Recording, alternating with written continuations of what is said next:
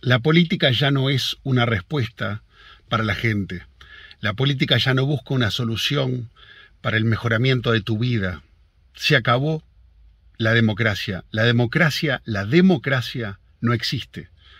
El poder en el pueblo no existe. No sé si alguna vez existió. Hoy me queda claro que no existe. Hoy es un negocio. El que imagina ser político hace un determinado cálculo. En Uruguay, esto pasa en todos lados, pero hablemos de Uruguay. Un político estándar calcula, en cinco años la política me embolso, yo me embolso en la política un cuarto de millón de dólares. 250 mil dólares tranquilamente. Bien, pongo 50 mil dólares para campaña, o sea, estamos hablando de millones de pesos, gasto en publicidad, en campaña, para ganar ese puesto y para obtener esa ganancia. ¿Quién pone esa plata? Bueno, seguramente para los que después ese político va a trabajar. Todo es un interés comercial. Quedó atrás la política idealista, la política, el partido político que buscaba eh, el mejoramiento de tu vida, un proyecto de país. No hay nada de eso, ya no queda nada. El Partido Colorado se desdibujó completamente, el Partido Nacional se desdibujó completamente, y bueno, todos sabemos el Frente Amplio lo que terminó siendo, lo que se esperaba de él y lo que terminó siendo. Entonces, ¿qué queda? los partidos chicos, ¿qué fuerza tienen? ¿Para qué están? ¿Terminan siendo una opción de cambio o en realidad es para acomodar a la figura clave este, que busca salvarse económicamente y un mimo a su ego? Porque ¿qué hacen los partidos chicos? ¿Qué haces cuando vos conseguís un diputado en el, en el Palacio Legislativo? ¿Qué podés hacer? Absolutamente nada. Absolutamente nada. La única forma de transformar la realidad es conseguir mayorías. ¿Y cómo pueden conseguir las mayorías? Cuando la inmensa mayoría, por no decir la casi totalidad, están por dinero. Lo que mueve el interés lo que mueve el interés del, del, político es la plata, es el poder y el dinero. Los, tienen que entender que el político no se mueve para tu interés, no se mueve para mejorar tu vida. De hecho, pasan las décadas y ¿dónde me dicen ustedes que la gente está realmente viviendo mejor? ¿Dónde está la baja de los suicidios? ¿Dónde está la gente alimentándose mejor? ¿Dónde se está solucionando el tema de la vivienda? ¿Dónde la marginación se está este, agotando y la gente empieza a vivir de una forma digna? Este, y los cantegriles y las villamiserias desaparecen. ¿Dónde está la gente que deja de comer de la basura? ¿Dónde está la gente que deja de vivir en la calle?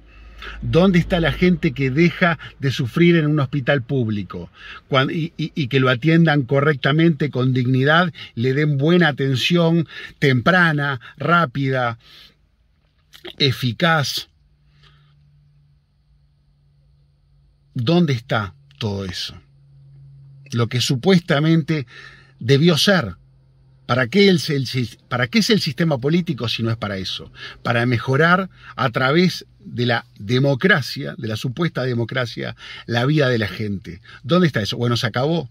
No sé si alguna vez estuvo realmente. Yo no viví en el pasado. Todos nos basamos en lo que dicen los historiadores, pero hoy la democracia no existe.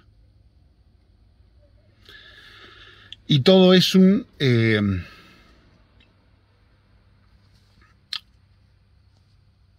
un entrecruce de intereses y de acomodos.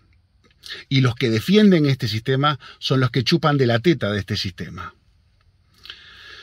Todos son intereses para poder llegar y como les digo, ser político es un gran negocio, un inmenso negocio. Y todos quieren morder y para estar ahí son capaces de todo. Y cuando llegan ahí se olvidan de todos los ideales que tuvieron y todos terminan arreglando y acomodándose. Ese es el, es el gran drama de las democracias hoy. Por eso hay una inmensa desconfianza y creciente desconfianza hacia la democracia, hacia los representantes o los supuestos representantes. ¿A quién representan? Yo estoy convencido que a la gente no. Yo estoy convencido que representan al poder, al poder económico, un poder concentrado. Yo estoy convencido que los diferentes partidos políticos van tras un mismo plan, simplemente que copan de diferentes nichos de votantes. Necesitan conquistar, unos tienen que conquistar al campo, otros tienen que conquistar a los empleados públicos, otros tienen que conquistar este, a, los a los empleados privados, otros tienen que conquistar a los más desvalidos. Bueno, nichos de votantes que hay que ir por ellos, hay que conquistarlos y sacarles el voto una vez cada cinco años. Pero en el fondo todos van por un mismo país. Por eso el Uruguay no se mueve. Y gane quien gane, hay diferentes tendencias, diferentes colores. Eh, cada gobierno tiene un cierto matiz propio en función al partido que gana. Pero en lo central, en las cuestiones, en las coordenadas principales del Uruguay, el Uruguay no se mueve. Cada vez es un país más endeudado, cada vez es un país más vendido, la concentración de dinero, de capital, de tierras cada vez es mayor. Por supuesto que esto está pasando en el mundo, pero a mí me importa mi país, porque son nuestros políticos los que lo están fomentando, los que lo están haciendo. Entonces, la gente que se rasga las vestiduras por un partido político o por un supuesto líder político de pacotilla, de barro, líder de barro, este, me da gracia. Siento que es un absoluto ignorante de la realidad o está prendido de la teta de ese partido o de ese líder. Porque realmente ya no existe la democracia ya no existe la democracia. Y vos podés tener muy buenas ideas, eh, podés tener las mejores ideas y las mejores intenciones. Si vos no tenés una inmensa capacidad económica, inmenso flujo de capital que te permita hacer el circo electoral, la campaña electoral, salir en televisión, salir en radio, atosigar con tu figura, cartelería, mensajes por, por, por teléfono, absolutamente estar 360 grados alrededor de la persona, alrededor del votante, enloquecerlo, tapar con tu cara todo alrededor de ese votante. Si no conseguís eso, si no tenés el dinero, no llegás a nada. Por eso, hoy los partidos son absolutamente pirámides de poder. O sea, en el vértice están las figuras que son las que concentran, las que consiguen el dinero, y después están los otros que son los empleaditos que son los diferentes legisladores, que son los diferentes de la orgánica de los partidos. forman parte, digamos, de los, de los soldaditos del partido. Y como nadie quiere perder sus beneficios, nadie quiere perder eh, el dinero que le que banca su vida, el colegio de los hijos, la jubilación, este, banca el, residencial de ancianos de los padres, banca las vacaciones, banca la buena vivienda, banca las vacaciones. El bancar la buena vida que te permite este, la vida política y el estar bien conectado a nivel político, nadie lo quiere ver, nadie, y menos por, menos por, por valores, menos por ideales. En un país como Uruguay, que el dinero manda, que el Dios es el dinero. Este es un país sin Dios, sin el Dios verdadero. Es un país absolutamente materialista. Entonces es muy fácil en un país como este comprar a la gente. Muy fácil comprar a la gente. Muy fácil silenciar a la gente. Muy fácil meterla en el bolsillo. Simplemente hay que averiguar el precio que tiene y te lo metes en el bolsillo. Es muy fácil dominar a la gente. Es muy fácil meterles el cuento que quieran a través de, por supuesto, medios de comunicación alcahuetes, medios de comunicación al servicio del poder político totalmente al servicio del poder político. Entonces, cuando tú tenés este, medios de comunicación al servicio del poder, este, la academia universitaria al servicio del poder político, intelectuales al servicio, artistas al servicio, Cuando vos tenés todo alrededor de la gente, claro, la gente dónde va a encontrar una vía diferente de, de información. ¿A quién van a seguir? Si están todos por la moneda. ¿Qué otra opinión? Por ejemplo, con todo lo que estamos viviendo a nivel sanitario, con todo el engaño mundial que se está viviendo para mayor control de la población. Porque miren que no, no falleció más gente este año. No. Miren que la gripe común se lleva más gente.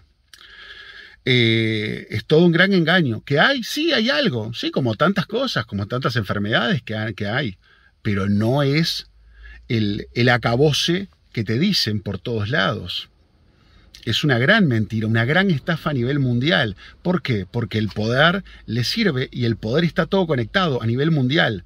A nivel uruguayo está conectado, pero a nivel mundial está conectado también. Porque el poder se reúne, el poder se reúne eh, en lugares a puertas cerradas, sin periodistas, y deciden sobre tu futuro.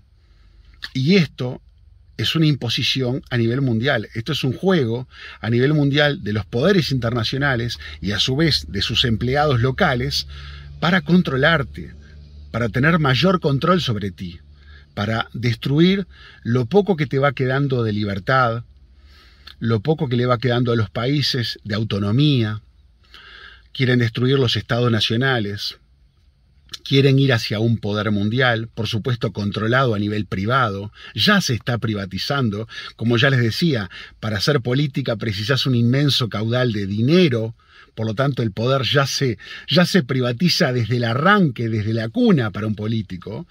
Entonces las relaciones carnales entre la política y el, y el privado están desde la cuna, desde el inicio, entonces el político termina siendo un mandadero, con gusto, porque les permite vivir muy bien.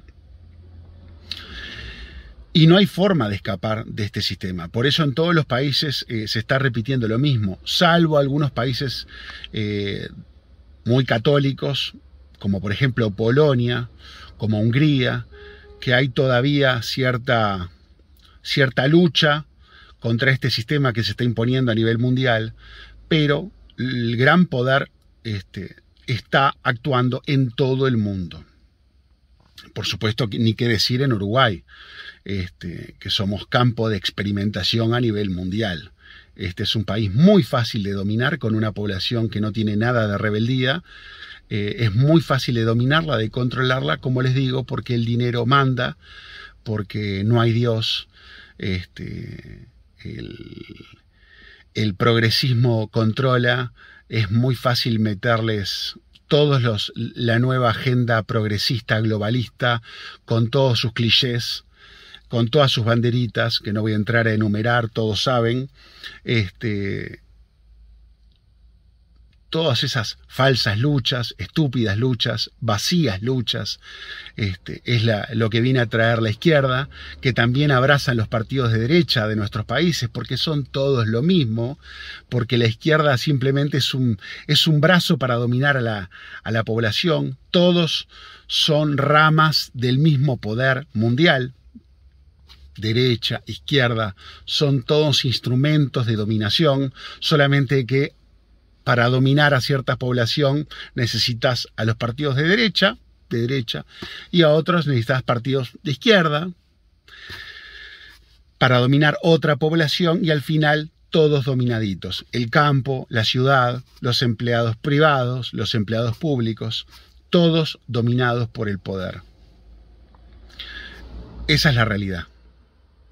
El dinero está mandando eh, la mayor crisis en el mundo es moral, estamos en una crisis moral de proporciones bíblicas.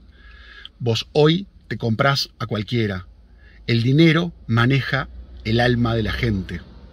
El deseo de poseer y poseer más, sin entender que todos nos vamos a morir, sin entender que la vida es un soplo, sin entender que no hay nada mejor que pensar en el otro, que somos una comunidad, que somos hermanos y que el otro es mi hermano, como nos hemos alejado de todo eso, de querer ayudar al prójimo, y solamente hemos pensado en nosotros, en el yo, en el materialismo, y tenemos una voz del mal hablándonos en el oído, y le hemos hecho caso a la voz del mal hablándonos en el oído, estamos como estamos, con una población oveja, con una población cobarde, con una población que pide más y más palo, más y más recorte de libertades para sentirse más segura, porque es cobarde, porque tiene miedo, porque solamente tiene oscuridad en su alma y necesita desesperadamente sentir la seguridad, porque viven en la oscuridad.